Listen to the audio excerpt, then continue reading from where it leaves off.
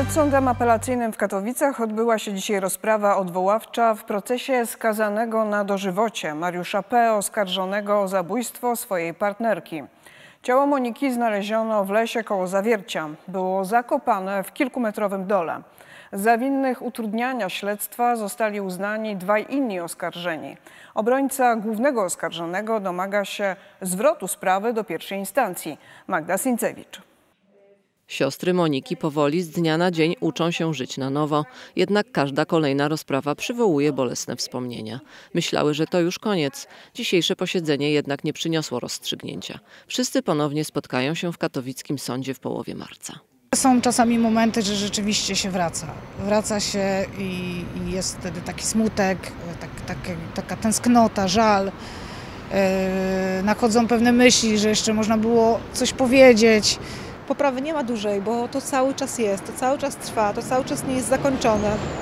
Dziś już byłyśmy pełne nadziei, że to się skończy, że już będziemy miały pewność, że tak, to jest, ta, to jest, ten, to jest ten wyrok.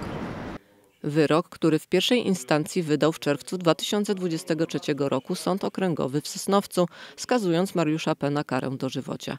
Mężczyzna o warunkowe przedterminowe zwolnienie będzie mógł się starać najwcześniej po 30 latach. Z tym nie zgadza się obrona, która złożyła apelację. Argumentuje w niej, że nie ma bezpośrednich dowodów dotyczących zabójstwa, nie wiadomo też w jakich okolicznościach do niego doszło, brak też narzędzia zbrodni.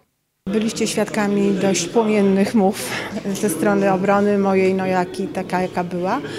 E, no to też nie jest sprawa bagatelna, to jest bardzo poważna sprawa, powiedziałabym, z rzędu najważniejszych i jedną z najgłośniejszych ostatnich lat w regionie. 9 lipca 2021 roku 42-letnia kobieta wyjechała w towarzystwie Mariusza P. z jego domu w Jaworzniku. Po zerwaniu z nim chciała wrócić do siebie. Ostatni raz była widziana na stacji paliw w Zawierciu.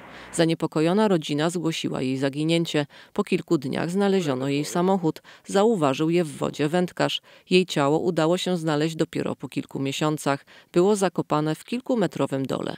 Prowadząca śledztwo prokuratura okręgowa w Częstochowie poza Mariuszem P. oskarżyła też dwóch innych mężczyzn Pawła B. i Łukasza W.